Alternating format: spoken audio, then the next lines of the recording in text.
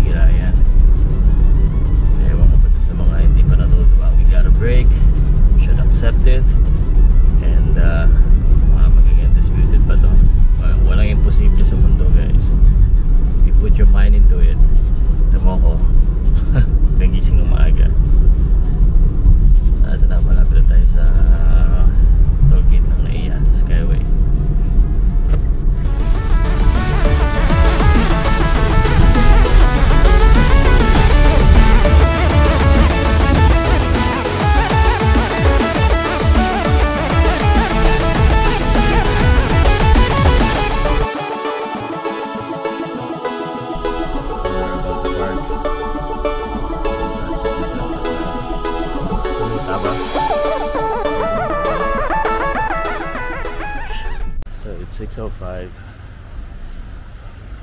Yan na Airport Yan lang tayo ng pamilyar na tao Wala tayong makita Ito pala puta Ha? Di ba kakakaway mo to? Eh, nasandali. Naka... naka Bati na kayo? Sila kanya na. Sila bull. as, as usual, si Silver Boys. Pares! Pampat- Bumubos ka na. Papadami, papadami ng comment, bashes. Ha? Nandito po si Silver Boys. Hindi. Hindi pa hindi man pwede mag-live dito sa maliit na to. Ano po, Silud? Man to man. Ito man. Last five na. That's right. Bali, wala pa po si Marlon. Ito si SB kahit kailan ready sa camera to eh. Hintayin nila. Namin for the world champ. So, almost 6 uh, 20. So, uh, andito na daw si Marlon Tapalos. Ano lang, um, pero lang uh, quick press con daw sa Gab bago yung mga vloggers. So ngayon kami dalawa lang ni SB, nandito daw sa Suntok, Pilipinas. Hindi ko pa alam kung sino parating. Pinadalang ko na ng mga mensahe yung mga iba pang mga BCCP tsaka mga ibang mga vloggers. Yes. Pa- anak ko, may may meeting na naman. Ah, guys, so bali, 'di ba ang hawak ni na belt ni Marlon, yung WBA at saka IBF. So kung gusto niya makuha yung WBC, ako kakalabanan niya. Yung WBO, ito naman si Santok Pilipinas. Tagal mo naman Marlon. A- Ate, yung doon, hindi pwede kami doon. Doon po. Sa pasayro lang po dito ang pwede. Nasa, nasa, bawal magabang. Pasayro ka ba? May pa, passport boarding pass na ba kayo? Ito na. Oo, may Oo, pwede. Mamaya pa pala. Bawal kami magabang doon. Bawal po dito lang po. Yung champion, abangan Saan natin. galing? sa Amerika. Sa, San Francisco. Oo, sa Tapales. Pwede ba doon? Kami tat, apat. Pag po kasi nagbabaan, sir. Maya maya ako to, sir. Parang nagbabaan na. Yung kasunod, yung... Nandito na siya kanina pa eh. Nag-mini-interview lang. Marlon! Marlon! Woo! There you go. Yan, bilis, bilis. Yan na po mga kaibigan. Yan po si Marlon. Yes, sir! Yeah! Here we go. Oh, Marlon, dinala na namin yung kulat na belt para sa'yo. Kompletuhin mo na. Please. Yung Oh, sige, ah, nandito na po ta- tayo mga kaibigan ang ah, newly Best crowned WBA and IBF Super Bantamweight Champion Marlon Tapales pa halika dito magtrabaho ka din. Alright, ah Champ Marlon, ah very very happy kami na nakita ka namin. Ah, ano ano pa lang ano ano pa lang ah, ah, plano no? Um, ngayon nandito ka sa Pilipinas, akala namin sa Japan ka. Anong plano? Di, ah, after dito pupunta ka ng Japan? Opo, ah, magpapahinga muna kami dito tapos ah, yung paglaban na pupunta kami. Wow. And balitang-balita na champ na um, yung si Sir Sean Gibbons is uh, actually uh, working it out para yung winner ng uh, Fulton versus uh, Inoue eh makalaban mo by November or December. Ano masasabi mo doon, champ? Na syempre, suwang tuwang tuwa ako kasi pagkakataon din yun, isang malaking pagkakataon din yun para sa atin, ah, di ba? Ah, kasi medyo magaan pa yung belt ko. Ayun, ayun. Ayun, ah, wag, wag, tao, oh, nalaglag tuloy. Ah, wag. So, so champ, ah, kung kung meron pagkakataon na pumili ka between uh, Inoue and uh, Fulton, meron ka bang preferred o kung sino manalo sa kanila okay lang sa'yo? Oo, kahit sinong manalo sa kanilang dalawa. Pero gusto ko sana si Juan Inoue yung manalo. Naoya Inoue. Any message to champ Naoya Inoue? Um, good luck sa paparating na laban nila at ah, galingan niya para magka pag- para magkaharap kami. And champ ito, ano yung masasabi mo sa mga tao na talagang hindi sumukong maniwala sa'yo? You're a former world champion pero ngayon unified champion ka na. What can you say to your to your supporters? Ah, nagpapasalamat ako sa solid na supporters ah, lalong-lalo na sa mga Pilipino na sumubaybay talaga sa karir ko. Nagpapasalamat ako sa inyong lahat. Ah, yun po. Ayan. Ah, bago ko ibigay kay, kay Pao, ah, congratulate ko lang yung Sandman Promotion. Siyempre nandito si ah, promoter JC Manangkin and si Sir Mike Palayo. Ah, congratulations. Ang lakas ng Sandman. Pakamay naman.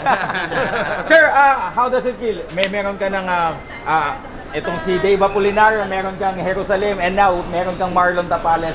Um, gaano kasaya ang Sandman ngayon? Uh, super saya, but uh, I'm blessed. But this one is special. Ang galing ni Marlon. Uh, this one is, uh, this is so special. Hindi ko mapaliwanag yung pakiramdam mo. Yes. And I know how happy you are and we're very proud din sa iyo kasi grabe, grabe. Ah, pausalud, pausalud. Yes. Sino?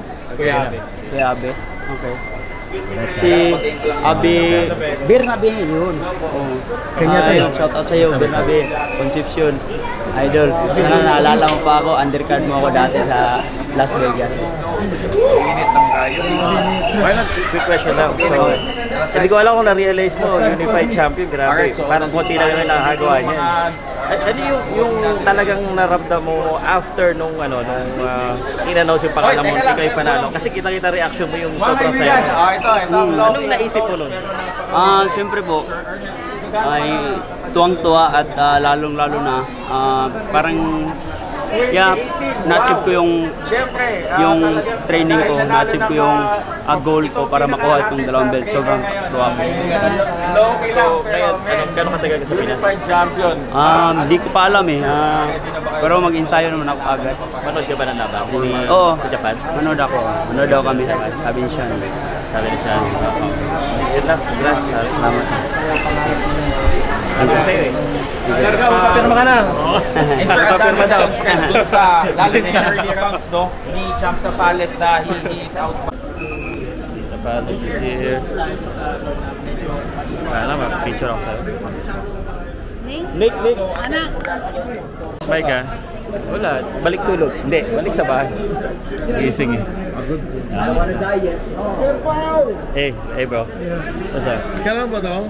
Sa ano lang, video lang. Hindi, naman ako Si nakakapag- Ben. Ito talagang legit na Sandman, Sandman LA. US support. The US. Team USA. Now, Bibigyan ko ng celebratory party ng si Ben pagka uwi. Magmamalakan niya kay Sir. Thursday, 2 p.m. Okay. Thank you. ah. I'll see you. JC. Thanks. Thanks, bro. I'll see you. ah. Okay. Okay. Sige. ingat, ingat. Hey, sa magkano pa tayo kayo dito? Ikaw? 12 days. 12 days. Sige, message message. Ah, sige. Kikita tayo pag ano. Sige, ingat. Ayun, tapos na. US based Alright, tapos na po. At uh,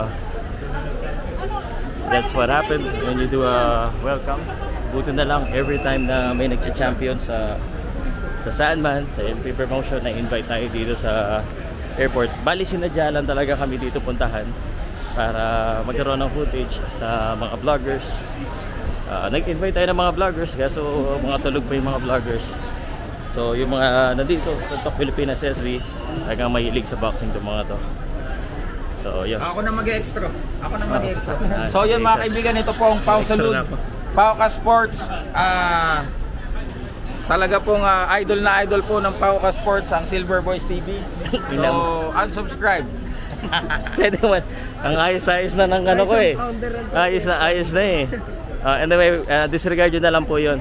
Basta ano, para sa boxing tayo. Nandito tayo. Kahit na merong isa dito na hindi manonood sa May 13 daw. Ano din napaka ano